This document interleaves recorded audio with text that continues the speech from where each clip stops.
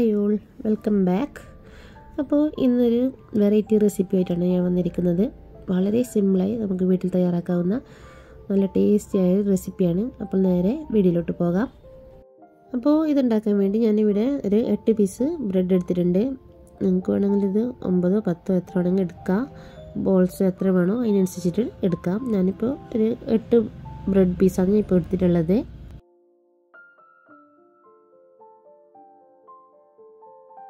ഇനി ഇതിന്റെ ഈ ബ്രെഡ് പീസിന്റെ നാല് സൈഡ് ഒന്ന് കട്ട് ചെയ്തെടുക്കണം.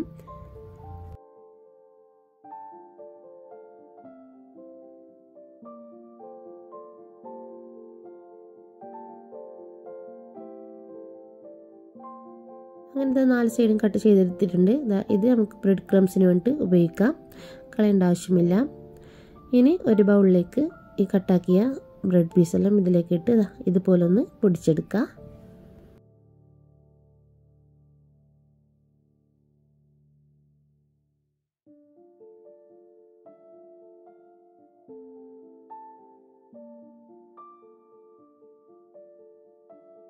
ഒന്ന് ഈ ബ്രെഡ് ഒന്ന് നല്ലതുപോലെ ഒന്ന് മിക്സ് ആക്കി എടുക്കണം അതിനുവേണ്ടി ഞാനിപ്പോൾ ഇവിടെ ഒരു രണ്ട് ടേബിൾ സ്പൂണോളം ഞാൻ പാൽ ഇതിലേക്ക് ഒഴിച്ചു കൊടുക്കുന്നുണ്ട്.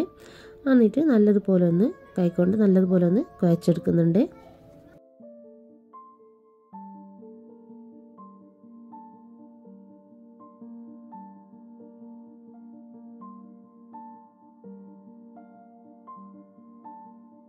നല്ല സോഫ്റ്റായി ഇത് കുഴച്ചെടുക്കണം.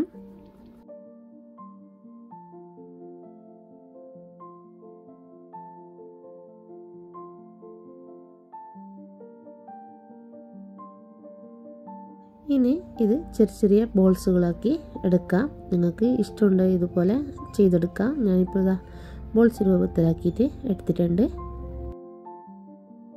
ഇതുപോലെ തന്നെ ബാക്കിയുള്ളതും റെഡിയാക്കിയിട്ട് എടുക്കാം.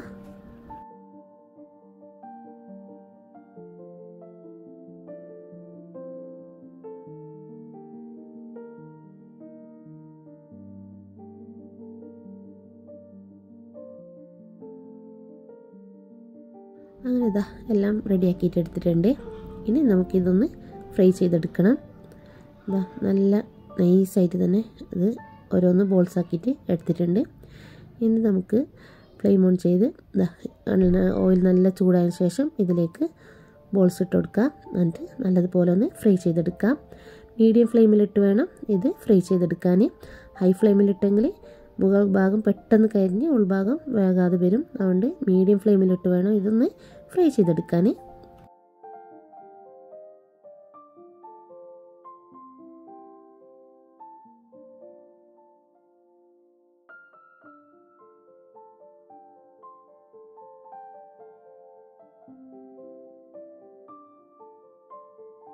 നല്ലതുപോലെ ഫ്രൈ ആയി വന്നിട്ടുണ്ട്. ഒരു ഗോൾഡൻ ബ്രൗൺ നിറമാകുമ്പോൾ ഇത് ഓയിൽ നിന്ന് മാറ്റാം.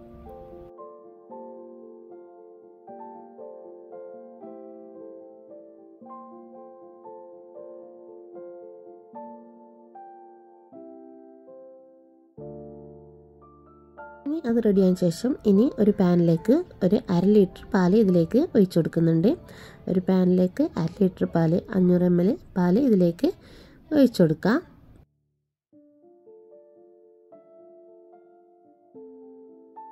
ഇനി ഈ പാൽ നമുക്ക് ഫ്ലെയിം ഓൺ ചെയ്ത് ഒന്ന് തിളപ്പിച്ചെടുക്കണം. ഇനി ഈ പാലിലേക്ക് വേണ്ട മധുരം ഇതിലേക്ക് ഇട്ട് കൊടുക്കുക. പഞ്ചസാര. ഞാനൊരു നാല് ടേബിൾ സ്പൂണോളം പഞ്ചസാര ഇതിലേക്ക് ചേർത്ത് കൊടുക്കുന്നുണ്ട്. മധുരം നിങ്ങൾക്ക് വേണ്ടത്ര ഇതിലേക്ക് ചേർത്ത് കൊടുക്കാം. അത് നിങ്ങളെ ഇഷ്ടത്തിനനുസരിച്ച് ഇതിലേക്ക് ചേർത്ത് കൊടുക്കാം. ഞാനിപ്പോൾ ഇവിടെ നാല് ടേബിൾ സ്പൂണോളാണ് പഞ്ചസാര ഇതിലേക്ക് ചേർത്ത് കൊടുത്തിട്ടുള്ളത്. എന്നിട്ട് നല്ലതുപോലെ ഒന്ന് തിളപ്പിച്ചെടുക്കാം.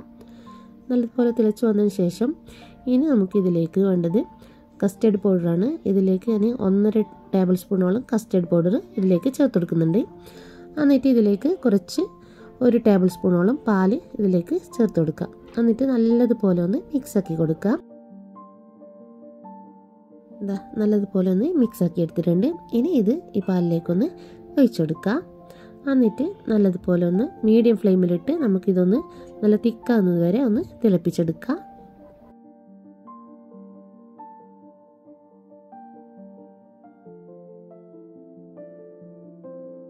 പാലിത ഇതുപോലെ തിക്കായി വരുമ്പോൾ ഇതിലേക്ക് ഒരു ഫ്ലേവറിന് വേണ്ടി ഞാനിവിടെ ഏലക്കേന്റെ വിത്താണ് ഇതിലേക്ക് ചേർത്ത് കൊടുക്കുന്നത്. സീഡ്സ് ഇതിലേക്ക് ചേർത്ത് കൊടുക്കുക. നിങ്ങൾക്ക് ഏലക്കായന്റെ പൊടി ഉണ്ടെങ്കിൽ ഇതിലേക്ക് ചേർത്ത് കൊടുക്കുക. പിന്നെ വേണമെങ്കിൽ ഇതിലേക്ക് വാനില എസെൻസ് അതെല്ലാം വേണമെങ്കിൽ ചേർത്ത് കൊടുക്കുക. ഞാനിപ്പോൾ ഇവിടെ ഏലക്കായന്റെ വിത്താണ് ഇതിലേക്ക് ഞാൻ ചേർത്ത് കൊടുക്കുന്നുള്ളത്. ഇത് വേണമെങ്കിൽ പൊടിച്ചിട്ട് വേണമെങ്കിൽ ഇതിലേക്ക് ചേർത്ത് കൊടുക്കുക. ഞാനിപ്പോൾ ഇതാ ഇതുപോലെ ചേർത്ത് കൊടുത്തിട്ട് ഫ്ലെയിം ഒന്ന് ഓഫ് ചെയ്യുന്നുണ്ട്. ഇനി ഇതാ നമ്മൾ നേരത്തെ ഫ്രൈ ചെയ്ത് വെച്ച ബോൾസ് ഒരു ട്രേയിലേക്ക് ഇട്ട് കൊടുക്കുക എന്നിട്ട് നമ്മൾ നേരത്തെ റെഡിയാക്കി വെച്ച കസ്റ്റർഡിന്റെ മിക്സ് ഇതാ ഇതിന്റെ മുകളിലായിട്ട് ഒന്ന് ഒഴിച്ചു കൊടുക്കുക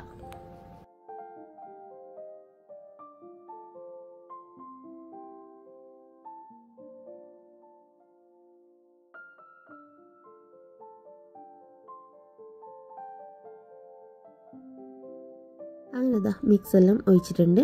ഇനി ഇതൊന്ന് നമുക്ക് ഫ്രിഡ്ജിലൊന്ന് ഒരു ഒരു മണിക്കൂറൊന്ന് സെറ്റ് ചെയ്യാൻ വെക്കാം. പക്ഷെ ഞാനിവിടെ ഒരു മണിക്കൂർ സെറ്റ് ചെയ്യാൻ വെച്ചിട്ട് ഒന്ന് തണുത്തിട്ട് കഴിക്കുന്നതാണ്. ഇത് നല്ല ടേസ്റ്റ് ഉണ്ട്. ചൂടോടെ വേണമെങ്കിലും ഇത് കഴിക്കാം. ഇത് എങ്ങനെ വേണമെങ്കിലും കഴിക്കാം. കാരണം നല്ല ടേസ്റ്റാണ് ഇതിന്. നമ്മുടെ വീട്ടിലേക്കൊക്കെ പെട്ടെന്ന് വിരുന്നുകാരൊക്കെ വന്നെങ്കിൽ പെട്ടെന്ന് റെഡിയാക്കി എടുക്കാൻ പറ്റുന്ന ഒരു റെസിപ്പിയാണിത് അപ്പോൾ എല്ലാവരും ഇതൊന്ന് ട്രൈ ചെയ്ത് നോക്കുക. കാരണം അത്രയും ടേസ്റ്റുള്ളൊരു റെസിപ്പിയാണിത് അപ്പോൾ വീഡിയോ ഇഷ്ടപ്പെടുകയാണെങ്കിൽ ഒന്ന് ലൈക്ക് ചെയ്യാനും സബ്സ്ക്രൈബ് ചെയ്യാനും ഷെയർ ചെയ്യാനും മറക്കല്ലേ?